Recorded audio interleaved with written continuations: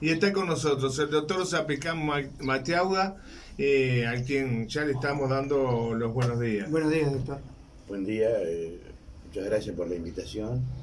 Y bueno, esperemos que tengamos un lindo programa y que podamos informar y aportar nuestro grano de arena a la audiencia. Así que muchas gracias por invitar. Y para nuestra audiencia les recordamos que si quiere enviar una pregunta por mensaje de texto o por WhatsApp, tiene el 096 21 11 11. 096 21 11 11 y compartiremos esa pregunta si va dirigida al doctor Zapican Matiago.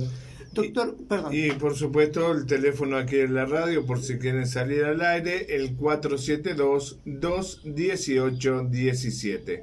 472-218-17.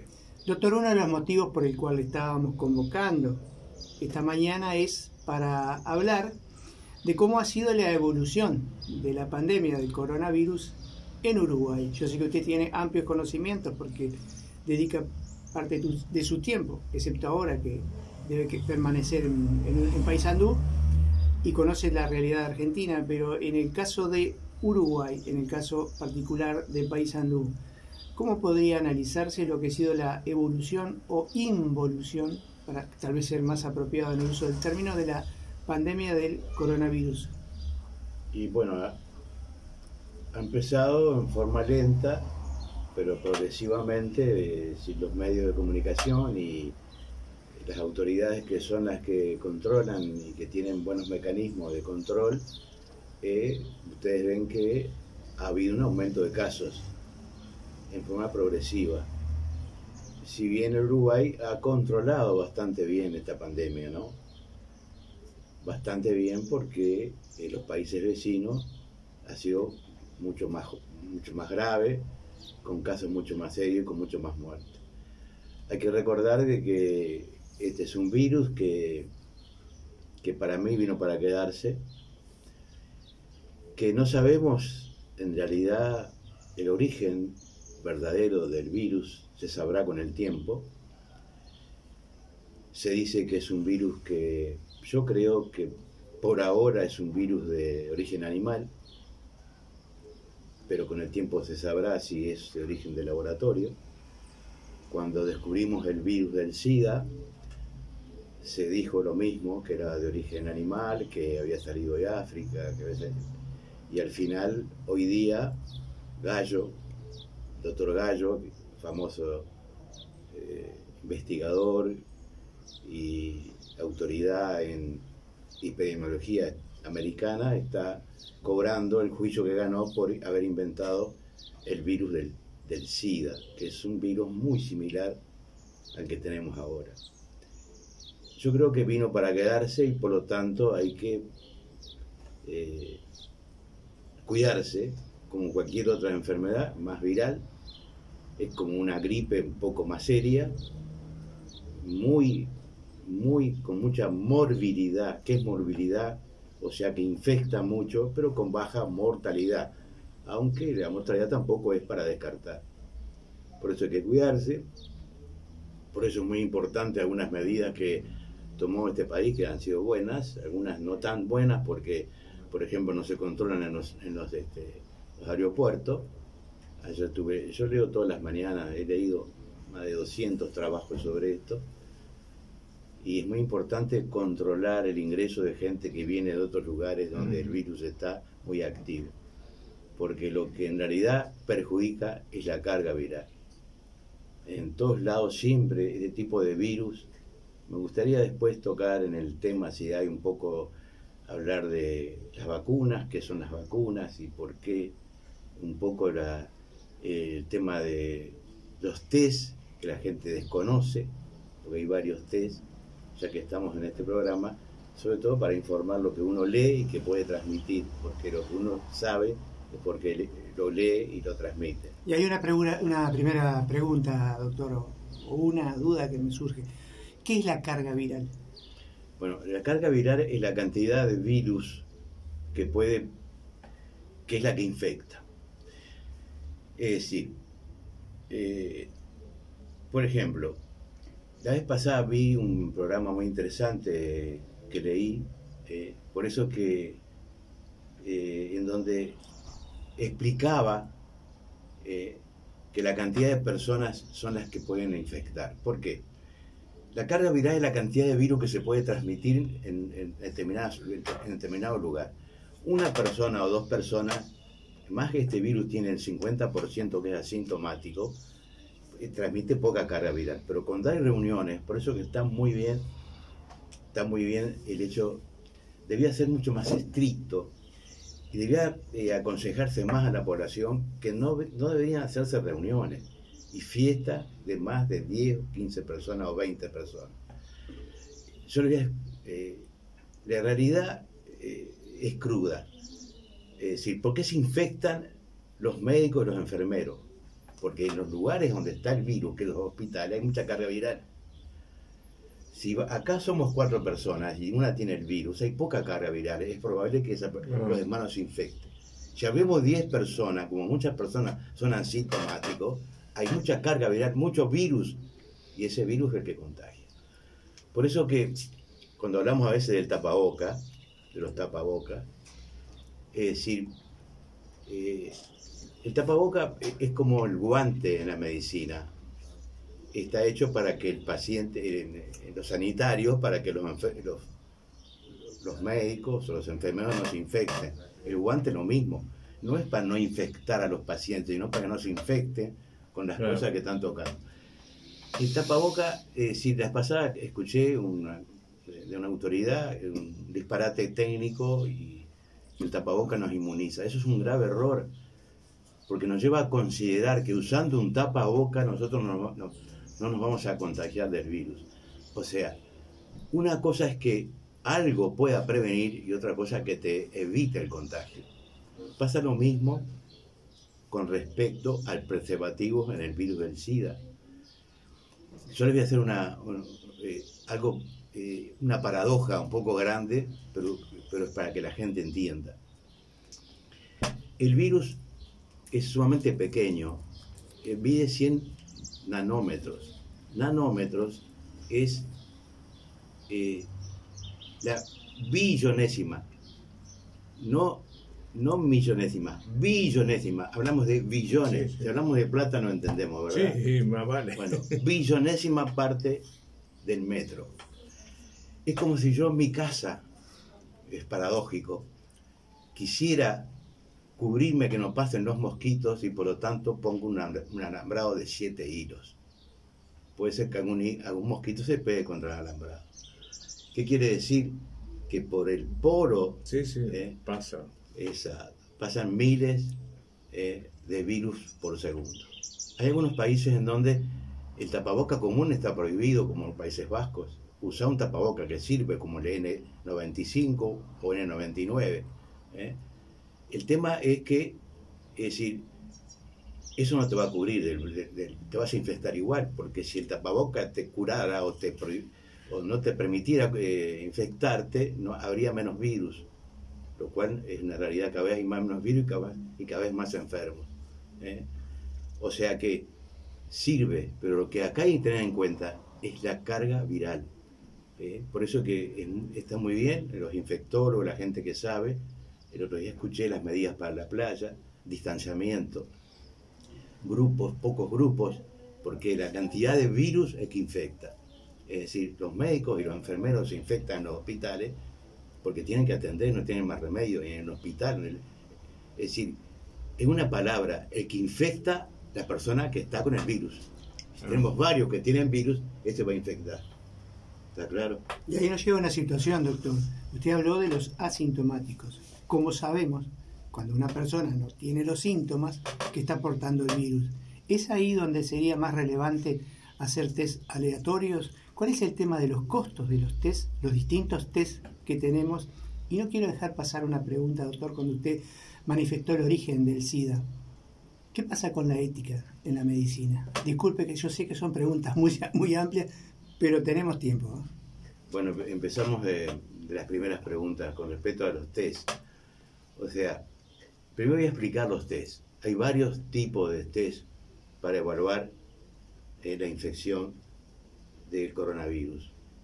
Pero siempre hay que tener presente la clínica. ¿Por qué? Porque este virus tiene la particularidad que es asintomático en un 50% de los casos. ¿Qué es asintomático? ¿Qué quiere decir que acá podamos estar los tres infectados pero sin síntomas y estamos contagiando? La persona que es asintomática contagia, pero no tiene síntomas. Por eso están los test.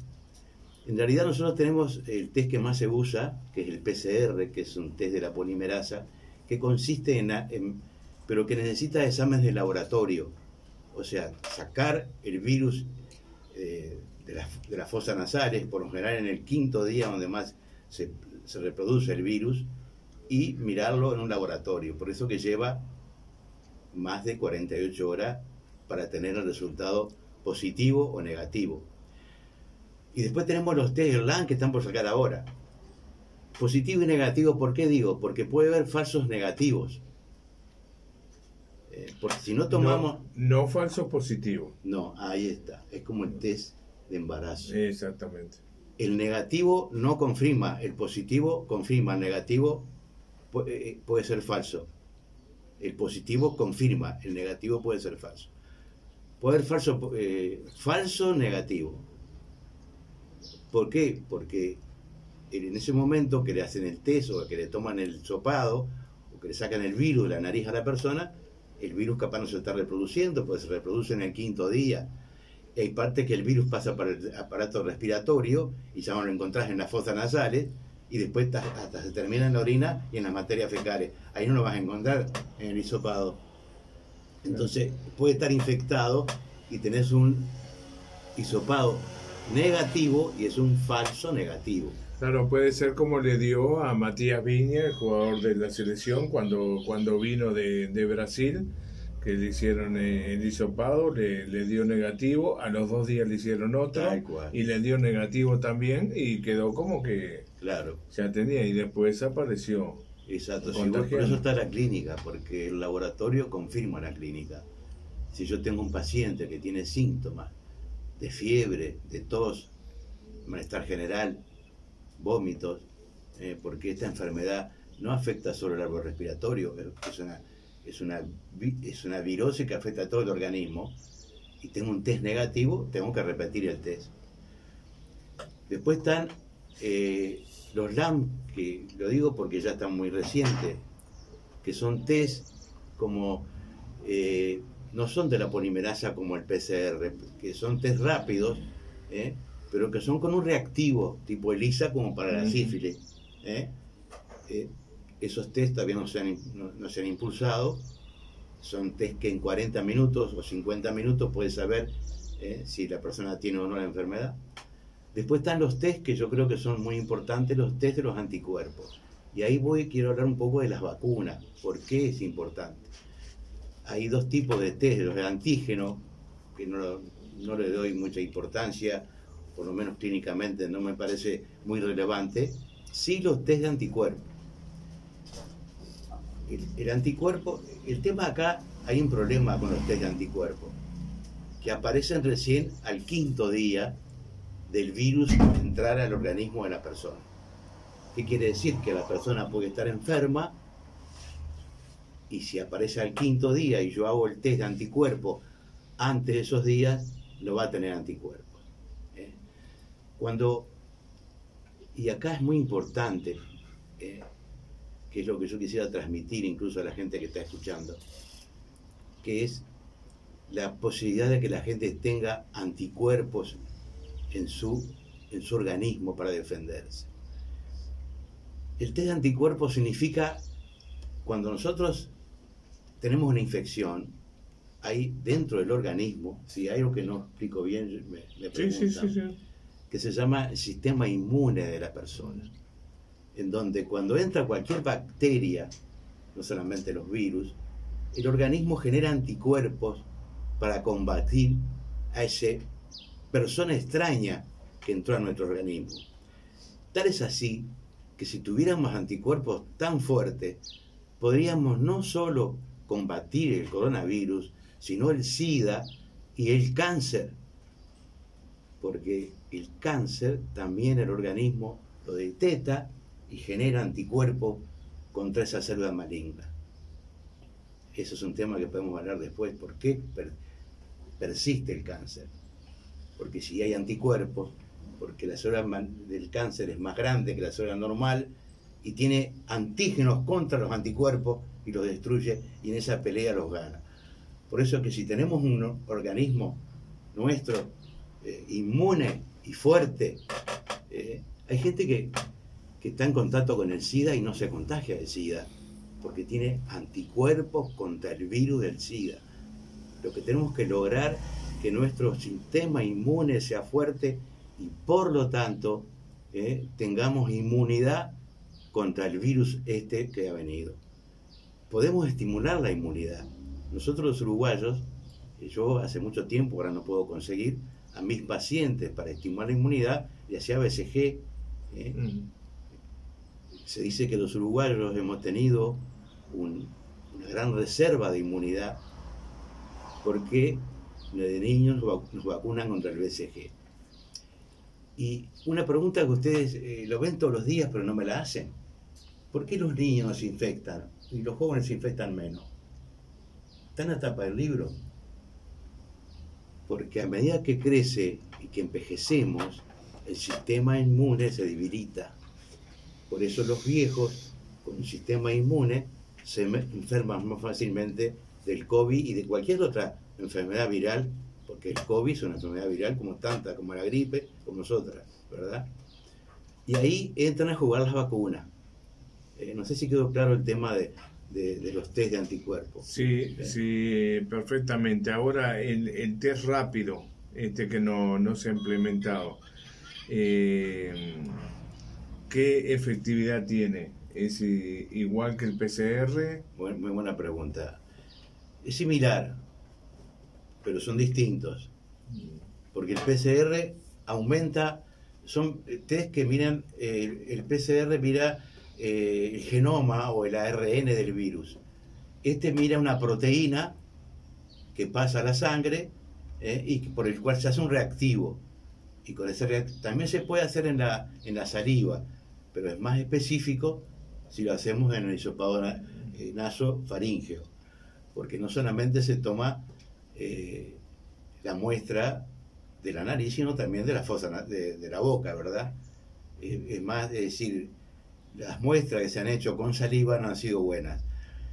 Eh, lo que tiene, lo que permite con este test es que lugares que no hay laboratorio, como por ejemplo acá hay hospitales que no tienen, hospitales de campaña, hospitales que están, en, por ejemplo, en ciudades chicas, o la gente que viene de otro lugar, que le podemos hacer un test, si es positivo porque tiene coronavirus. Vamos de vuelta a la página anterior. ¿eh? El negativo no confirma puede tener negativo y puede tenerlo, pero el positivo sí, ¿está claro? Por eso es que estos test son buenos, son similares, son distintos, no tienen nada que ver. ¿eh? Y los test son, los test que hablamos nosotros son de los anticuerpos. El anticuerpo significa que la persona, si está positivo, que tuvo el virus y que está con anticuerpos. Hay tres tipos de anticuerpos. Lo que pasa que el si el test rápido, si te puede confirmar en 40, 50 minutos, sería ideal para, sobre todo para las personas que vienen desde el exterior. Porque recordemos que se le hace el test cuando entran al país y se los manda a cuarentena. Excepto en cuarentena. Pero ahí dependemos de la persona si ella quiere salir o no. Ya no tenemos vigilancia. En cambio, con un test rápido eh, se puede eh, combatir en el momento. No sé si en el aeropuerto de Carrasco se hace lo mismo. ¿eh? Si se hace ese control, doctor. No sé, yo creo que no. Tiene, que, presentar. Hay, quejas, de que la gente viene, entra al aeropuerto y no la controlan. O sea, esas son fallas o sea, hay mucha, mucha bulla, eh, eh, muchas eh, boletitas, pero en realidad hay cosas que no se hacen que se deberían hacer. y, nos mienten mucho en esto. Está estipulado que al, entrar al país tienen que presentar un test con 72 horas, menos de 72 horas de habérselo hecho, ¿no? Sí, pero yo leí ayer o antiller una persona que además publicó en el Facebook que entró al aeropuerto ¿eh? que vino no sé de, de, qué lado y nadie lo controló y se fue y vino. O sea que no es tan así. O sea que siguen fallando los controles. Sí, o sea que, como siempre, hay mucha, eh, mucha política y mucha mentira en todo esto, ¿no? Eso es lo que la gente tiene que saber rescatar. ¿eh? Walter, no sé si tú querías los compromisos comerciales y seguimos la segunda parte. Y, venimos, y venimos. Vamos a invitar al doctor a que elija un tema musical. Ya vamos a hacer el gusto del tema musical, a ver qué, porque tenemos eh, que decir que estamos presentados por Provisión y Frutería La Nena, en el barrio Chepare, proyectada 90, casi casi Costa Rica. Y la música, ¿sabe que la presentan? Si se puede. Vinos Rosés amarga los litoraleños. Distribuye para Paisandú Juancla SRL en Grito Asensio, casi casi República Argentina, con el teléfono 472-34606. ¿Qué le gusta? Mira, todos los días escucho música 3-4 horas, pero todos los días o más y a veces de noche. Eh, me encanta, eh, escucho mucho los olimareños. Bárbaro. es decir, este, soy una fanático de la música, pero me levanto y ya pongo música y escucho música. ¿Y cómo te activa la, energía la música? ¿no? Te, lleva a hacer las cosas. A veces hay cosas que tenés que hacerlas igual y no tenés ganas. Sigo haciendo las cosas, y poner música. Leyendo, y incluso yo estudio portugués, leo portugués, estoy leyendo un libro ahora en portugués eh, de Coelho, muy interesante. Eh, se llama yo lloré en la puerta del río, eh, una, novela muy bonita que dice que lloró en el, en el, en el río, eh, eh, se, refiere, es una novela de amor muy, interesante de Coelho. Entonces, lo que destaca en esa novela es el instante mágico, cómo perdemos que una decisión en un momento oportuno puede cambiar toda nuestra vida ese en realidad es el esquema fundamental de esa novela de Pablo Coelho. Muy bien. Vamos entonces a la música en Sí se puede, ya venimos.